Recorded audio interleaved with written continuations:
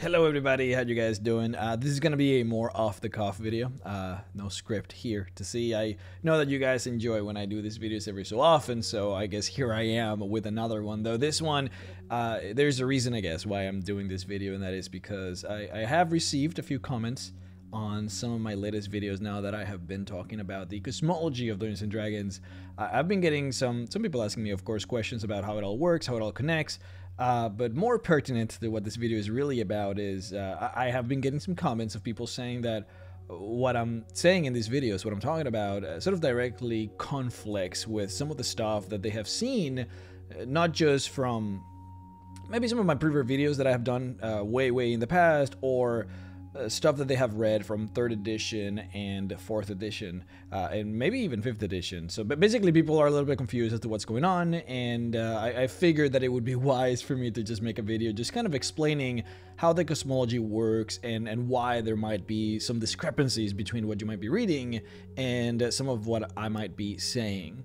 Uh, before that, we do have a sponsor for today. The sponsor for today's video is Keeps. Did you know that 2 out of 3 men will experience some form of male pattern baldness by the time they're 35? That means that statistically speaking, in some form, it may happen to you. I am not even 35 yet, and I think I'm starting to see it. I am literally about to become a statistic for male pattern baldness. Man, this sucks. The thing is, with hair loss, prevention is key. If you already have advanced hair loss, then, well, you're already too late. But if you're just developing that hair loss, Keeps may help you stop it. Keeps treatments take between 4 to 6 months for you to see the results, so it is important to act fast. The sooner you start using Keeps, the more hair you will save. What's cool though is that you used to have to go to the doctor's office for these prescriptions, but not with Keeps. You can see a doctor online and have the product delivered right at your door. They make it easy and deliver your medication every 3 months, so you can say goodbye to pharmacy checkout lines and awkward doctor visits. Keeps also offers generic versions of the only two FDA approved hair loss products out there, so the prices are also better than what you might be used to. If you're ready to take action and prevent hair loss, go to keeps.com slash Mr. Rhexx or click the link in the description to receive 50% off your first order. That is keeps.com slash Mr. Rhexx. Now, back to the video. So now let's talk about Dungeons and Dragons. So things can get a little bit confusing because there are parts of Dungeons and Dragons that is essentially shared between all players. You and I, or those, of course, from the actual Dungeons and Dragons team. And then there is stuff that is, uh, I guess, not shared between all of us. So, what does that mean? My world, if I were to create a, a planet with its own country, its own rules for magic, I could even make it with entirely different physics than what you would be accustomed to. If I create a world, that world also needs to exist alongside the world that you create that may have an entirely different set of rules for magic or physics. And then there's of course the the worlds created by the Dungeons and Dragons group the, the, obviously the worlds that you know as Forgotten Realms, Eberron, Mystara, you know, what have you. Now, the way that they solve this conundrum of how can how can it make sense for us to all have these worlds just sort of exist within the same multiverse uh, that was the creation of the idea of the prime material world.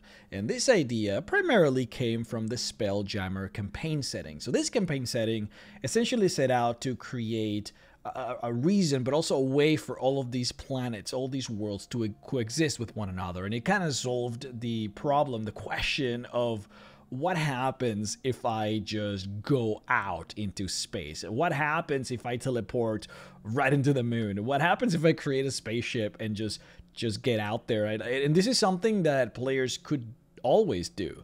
I mean, there is no restriction as to how high you can fly with the spell fly, right? Theoretically, you could just cast fly on yourself and go as high as you can and presumably even enter space. So the, the, answering that question was was a valid take, something that needed to happen. But it also, on that very same campaign setting, it sort of explored the idea of how far you could go into space. Could you theoretically then access other planets, and how are those other planets presented? And that's where the concept of having every single world that you and I create and Dungeons and Dragons creates exists within this universe. Every single plane is enveloped in a crystal shell that then floats in the phlogiston, which is this river. So all of these marbles with worlds inside float together in this prime material realm. Now, this made sense because what I create is different from what you create, but somehow it all needed to exist within the same sort of world, right? The, the real problem, however, lies in the fact that now you have to deal with issues like the inner planes and the hells and the heavens. And why is this an issue? It is an issue because these concepts are not different between my world and your world. It almost doesn't matter what kind of world you create. Theoretically speaking, there is always a hell, right? Like everyone kind of understands that there are these defaults that we all have to default to if we expect to play Dungeons and Dragons. Now, of course, your world can have very specific rules that kind of just overwrite those defaults. Like, for example, the Ethereal Realm. The Ethereal Realm is supposed to exist within Dungeons and Dragons, right? It, it's kind of necessary. That's where ghosts are. If you don't have an Ethereal Realm, having ghosts becomes a lot more difficult, or basically, you have to change them. Um, but also, there are spells like Etherealness, which is a spell that exists within the basic framework of the game. Everyone gets access to that spell regardless of how your world is built, unless you specifically eliminate it, which presumably you would do so with a reason, which is fine. The Dark Sun campaign setting, for example, has a reason. They're ethereal, I don't think they have a border ethereal. And they explain it through various sort of like, you know, very specific reasons why that's the case, which I, I guess I don't have to get into. But the idea is there are these things that are defaulted. We all have these rules that we play our games and our games are based out of and that's the D&D rule set. These rules basically have an understanding that there is a hell, that there is a heaven, uh, that presumably there might even be a limbo, that there's an ethereal, an astral plane, an inner plane. Like all these things matter because a lot of the spells in the game rely on these factors, right? Like it can be a little bit tricky to imagine um, a world where spirits of the dead don't go anywhere, or whether uh, you can try and cast a, a, fire elemental conjuring spell, but you don't really know where that fire elemental is coming from. Like these things need a, a reason, and that's where all these defaults kind of come in. And so we needed a uh, a, play, a, a setting basically to explain this, something that really got in deep as to where these creatures are coming from, what these outer planes uh, where are they and what are they? Uh, how how big are they? Like all these questions, whatever questions you might have, we needed something that would answer them, and that's where Planescape came into play. Planescape explained everything. And it was so great because we basically had a book for every single location in in the outer planes and inner planes. So like when it comes to the ethereal realm, when it comes to the astral plane, when it comes to the nine hells, um, you know, Mount Celestia, like we had books and books and books basically just explaining absolutely everything. And so this became the default D&D cosmology model it, it basically worked in everything from all of the different uh, realities in the prime material realm to every single other campaign setting. It, it all made sure that it was sort of congruent with itself. In fact, we even talked about this on my last video where I talked about the deep ethereal. We mentioned that uh, you guys remember Ravenloft in second edition, I believe even third edition too. Ravenloft was set in the deep ethereal and on the actual campaign setting booklet, it, it very specifically mentioned this. Uh, so all of these different campaign settings basically used Planescape as a way to sort of explain where they were located within the great cosmology of Dungeons and Dragons, and um, and then even other things like alignment. The concept of alignment is very much kind of just involved with the Great Wheel cosmology model, which is the Planescape cosmology model the idea that on the top left you have lawful good, then on the top you have neutral good, then on the top right you have chaotic good, and so on and so forth. Right? This this notion that if you if I were to draw a square and ask you to basically fill in where each of the alignments would go, like you you kind of know where they go, right? Evil goes down, good goes up. Like this notion uh, was kind of just based also on this sort of great wheel cosmology model. And uh, much of the uh, much of the gods from the Forgotten Realms were also basically designed with this idea in mind. So the way that I'm creating these videos, everything that I'm talking about on my videos is designed with this particular cosmology in mind, which we call the Planescape campaign setting. Now, where are these uh, confusions, I suppose, coming from? Well, as the editions kind of just kept on going, right? we're primarily talking about second edition, which is where when Planescape actually came out. In third edition, things got a little bit weird because uh, we didn't really talk about Planescape at all. In third edition, we had a book called The Manual of the Planes, which basically cemented the Great Wheel cosmology model, the Planescape model, as the default. Like it was very specific about it being like this is what we use. All of D&D is sort of based on this. Um, however, and then they basically went on to describe how you could create, like a lot of the book was about describing how you could create your own cosmology. Um, so it was a little bit just, you know, not necessarily, they didn't really set out to fully explain Planescape, but basically to just give you these summaries of everything that Planescape was about. Um, and because they did that, I guess seemingly they didn't feel the need to make more books that related to the outer planes or the inner planes. So basically, when it comes to the planes in third edition, you, you really only have that book. Now, the book is really good because it explains everything, but it's, it's really a summary of everything, um, a summary of what was Planescape. But then came the Forgotten Realms, which is obviously what I focus on on this channel. I, would like to talk about the Forgotten Realms the most because that's where all the video games are. Uh, that's where uh, all of the 5th edition adventures are basically set, and uh, a lot of the novels are also set in the Forgotten Realms. So it, it, just makes the most sense for me to focus on it, and that's why I do it. Um, but specifically, the Forgotten Realms campaign setting in 3rd edition attempted to change the cosmology. They had their own cosmology model, which I believe is called the Great uh, no, it's called the World Tree Cosmology. They designed it, uh, they, they, created it for third edition, uh, basically to just like be a little bit more specific about where each god was was located. Um, they didn't need to, and I don't really know why the reason was of why they did that, but they did. Um, then fourth edition came, and with it came uh, a couple of very radical changes to the story of Dungeons and Dragons, where um, you had events like the spell plague, which essentially meant that, uh, I, I, guess to describe a little bit of it, basically the goddess of magic was killed and a lot of these radical changes ended up happening within the cosmology of the Forgotten Realms, where entire realms were destroyed, gods were killed, even the world itself started to crack and shift, and magic started to work different. It was it was kind of just like a lore way to describe a lot of the radical changes that they wanted to make, not just to D and D, but specifically to the Forgotten Realms and and they used that lore bit to basically explain that and with that they created a, a very radical change to the cosmology. And that's where the uh, world axis cosmology came from. Um, i here's, a picture of it if you want to see it basically. I, I, know that a lot of you are probably uh, well aware of this picture. You can see it in the dungeon master's guide of 5th edition. But basically they wanted to create this and have this be the new cosmology model uh, but then in fifth edition, once again, they just kind of retconned a lot of that stuff.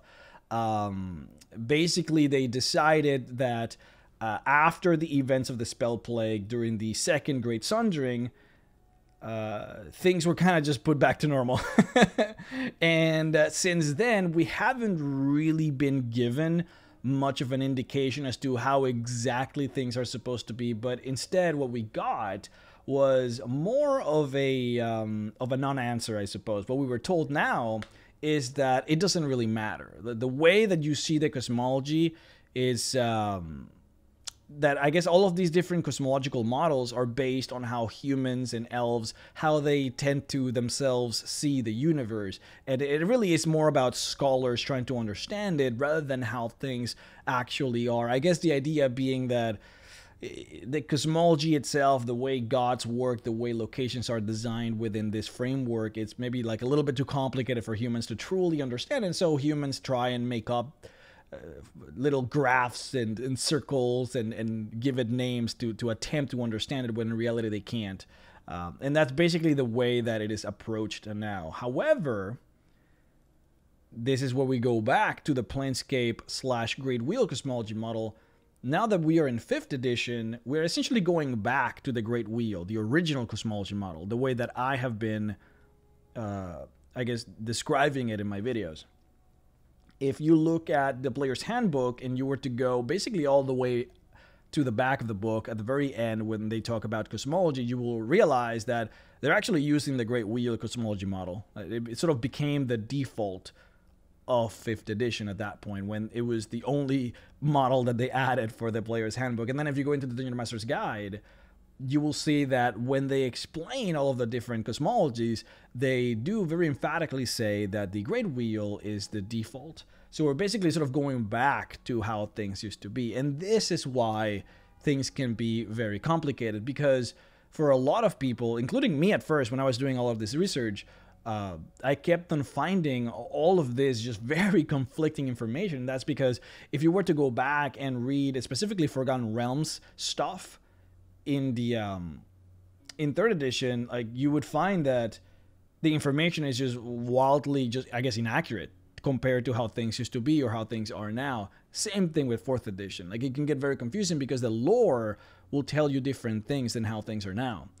And what makes it even more annoying is that obviously like every single book that came out like lore book that came out within those editions that talked about the outer and inner planes those books would then use those new cosmology models which are technically now just kind of outdated or retconned and that's when things can get even doubly confusing. So, for example, in 4th edition, they released a book on the Shadowfell, which was something that we didn't have before. Before, during the Planescape slash Great Wheel cosmology model, um, back then we didn't even have a Shadowfell. We had the uh, the demiplane of shadow in the ethereal realm, and then eventually, as the story progressed within the the books of D and D, specifically the Forgotten Realms, um, that realm of shadow, that demiplane of shadow, was then sort of combined with parts of the negative energy plane and was completely changed into the Shadowfell.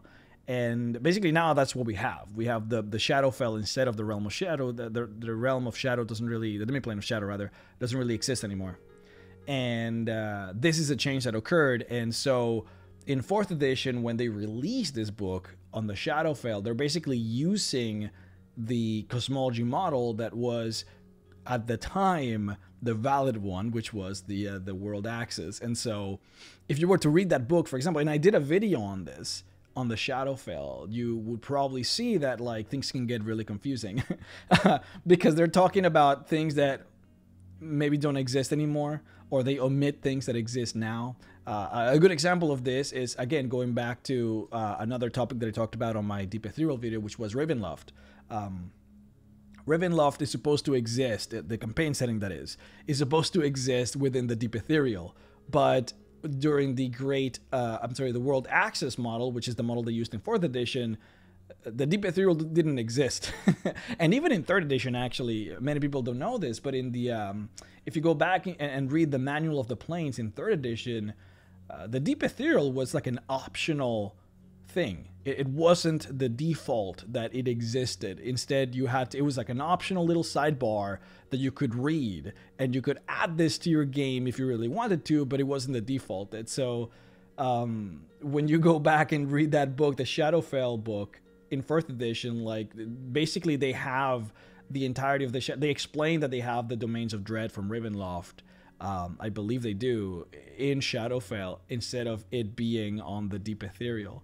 Uh, so now that they're releasing the campaign setting for Ravenloft, like I wonder what they're gonna do because uh, I guess I'm just really curious because that should answer a lot of questions. But again, just going back to this is why there is a lot of confusion. So to kind of just go back, I guess to the original point, I don't want to ramble too much.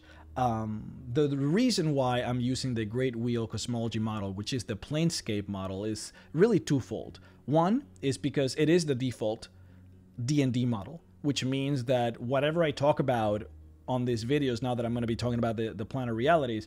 Uh, these planar realities, this framework applies to every world. It, it doesn't matter if you're playing the Forgotten Realms or Eberron or if you're creating your own world.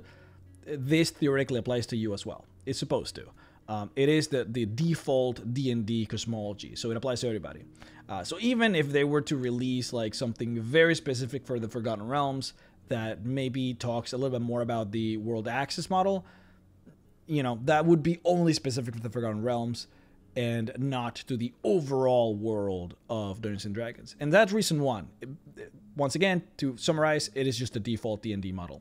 But reason two we also have way more information about the uh, the Planescape model than we do for any other model. Any other model. So the world tree uh, was basically only active for a single edition and only forget for the Forgotten Realms. And then once again in fourth edition, when we had the World Axis, that was only available for a single edition, and no further books were really released as to how to explore this particular cosmology. So we actually don't know anything about, for example, how the elemental chaos actually works within that cosmology. Whereas for the Planescape slash Great Wheel, we have a, a, literal myriad of books that explains absolutely everything. We have an entire book on the ethereal realm. We have an entire book on the astral. That's the reason why I managed to make two videos on the ethereal is because we just had so much info, and that's fantastic. So those are my two reasons of why I'm doing Planescape, uh, why I'm doing the Great Wheel. I hope that makes sense. I, I hope that answers a lot of questions, and uh, I hope that that also kind of just like elucidates a little bit on like why things are the way they are. Um, it all really comes down to basically like retcons and changes that, especially changes that never needed to be done. But uh, whatever, that's I guess beside the point. I hope you guys at least found this conversation interesting. If so, leave a like, leave a comment. Actually, I, I, I am very interested because I'm not perfect, obviously. A lot of this is off the cuff. Um, if I made a mistake, uh, there's a correction you might want to make if I said something is wrong. Obviously, leave it in the comments um, so that I can I can read it. Uh, specifically, you know, because uh, some of this very specific kind of cosmologies, like when they started and the reasons of why they started, um, they're a little bit confusing. A lot of this is very confusing. So, uh, if you guys want to correct me on something, make sure to just leave it in the comments. But yeah, thank you guys for being here. Thank you guys for being awesome. You guys are the best. Make sure to check out the the sponsor Keeps and uh, yeah, I'll see you guys next time. Bye bye.